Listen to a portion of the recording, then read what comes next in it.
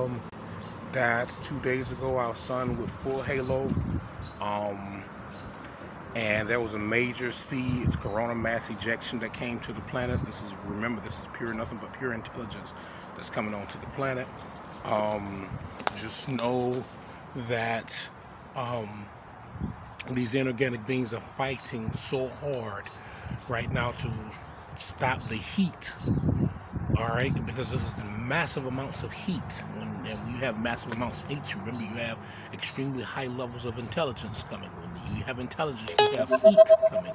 All right so the only thing they know how to do is use that 2% brain power. All right that's all they can do. They can only use 2% brain power. We're going to spray the sky and try to make it cold because their bodies are not able to take this energy.